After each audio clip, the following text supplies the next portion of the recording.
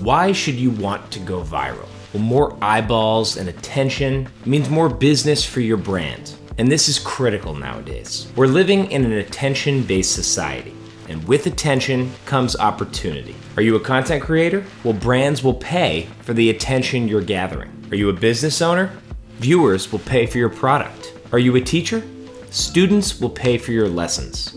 Having viral content in this day and age is so critical because it's gonna build your brand and your business. So, how do you do it? Let's look at seven tips to help you go viral on TikTok and Instagram today. First, you wanna make your content relatable. When people see something that they connect with, they tend to wanna like it, engage with it, and share it. There's a behavior to share content with your friends or on your Instagram story or with a family member when the content seems to get you or seems in on the joke or understands something that you understand. So you can take advantage of this behavior by designing content around relatability. Try posing a question that a lot of people want an answer to and then answering it in a profound or fun way. Try commenting on a current or trending event. Unbox a brand new product while everybody's interested and talking about it. These are all relatable things. They're current, they're of the news, they're what people are talking about. This relatability will help trigger people to share the content. So before you post your content, always ask yourself, is this relatable? Will people want to share this? The next tip is length of content. A lot of people ask, what's the best length of content these days? Do I wanna go long form? Do I wanna go short form? On TikTok and Instagram, should it be a minute? Should it be less? A lot of people are questioning this, but I'm here to tell you that the length of your content really isn't what matters. Sure, a short five to seven second video might garner a lot of views, but how much substance is there behind that video? The important factor here is that you're providing enough content and substance within the time limit that your content is. TikTok's putting a little bit more emphasis behind videos that are at least a minute long. Instagram Reels will cap at 90 seconds, but they'll also let you post a video up to 15 minutes that can live in the Reels feed. So there is some interest in longer form content these days. So overall, the length of your video doesn't necessarily matter, it's more that substance and another key factor that is not losing your audience while they watch through your video. We'll talk about that a little bit more later. The next tip is hook and retention. When you're creating content, you want to grab the viewer's attention right away, within that first three to five seconds. This is your hook. You could use text to motivate someone to keep watching the video. You could tease the best part of what's to come in the video. You could use a shocking reveal or a shocking moment, something suspenseful. There's a lot of different ways that you can tease and hook your viewer in, but you need to make sure that you're doing this in the first three to five seconds of your video so that someone doesn't just look at it quickly, swipe away, and it's gone forever. You want them to stay. Now, the retention part of this comes after the hook. Once you've got that viewer, you wanna ensure that you're keeping them entertained throughout the duration of your video.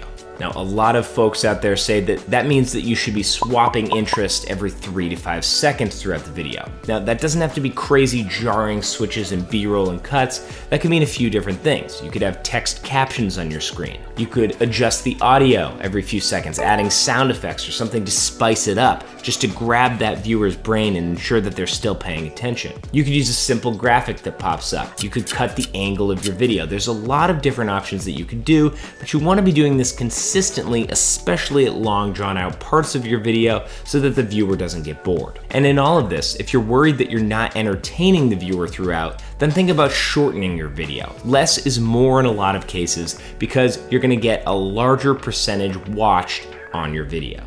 The fourth tip is to add some sort of value.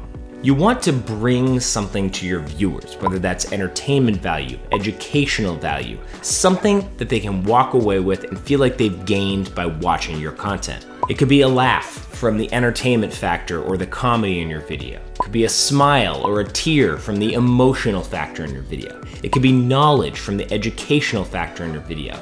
The main point here is that you want to be providing the viewer with something to go away with. The next tip is human touch. And by this, I just mean that there should be a human element to your footage. Videos or thumbnails or images with you in them are gonna do a lot better than videos or content that doesn't have any person in it, that's just a graphic or just text. The human element goes a long way. Be authentic and genuine when you're on camera as well. People like to see genuine people. They want to get a sense that you're just having a conversation with them. So just feel relaxed, ease into it, take your time when you're shooting your video, and just feel like you're having a conversation with the viewers. I know this is a hard one for a lot of people, but give it your best shot and try to get that human element into your content.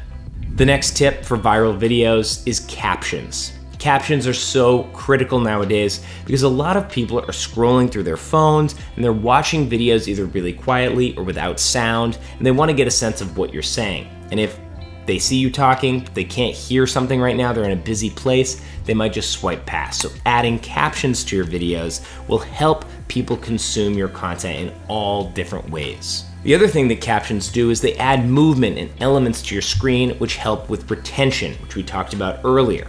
You can do captions in a number of ways, make them creative, add emojis, add graphics. That's a nice way to spice it up that people are doing now that can add to that retention through your captions. Captions can also make things shareable across languages because you could have translations into other languages so that people can share your content even if it's filmed in English in other languages across the world. When I'm looking to do captions, I use a service called rev.com. I've got a link to Rev down below. You can check it out. They're an amazing tool online that you just submit your video and it will spit out the captions for you very quickly. It does a fantastic job. It's made a world of a difference when I'm trying to create content like this to provide me with fantastic captioning. So check it out, rev.com. I've got a link down below.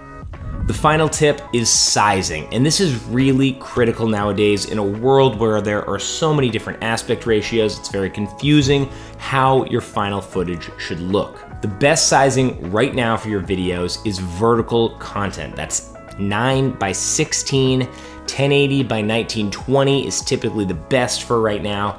This is the way that you're gonna fill up a person's phone screen and ensure that they're getting the maximum viewership of your content. You always wanna be careful when you're posting or preparing a video for something like Instagram or TikTok for the borders, the edges. Sometimes when you post, they'll cut it off a little bit or there will be little like buttons or graphics that cover part of your frame.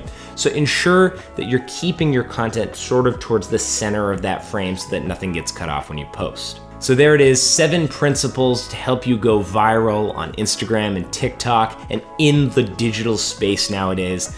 Let me know down below in the comments if you have any questions for me. Go ahead and like the video if you enjoyed, subscribe to the channel, and we'll be back with a whole lot more.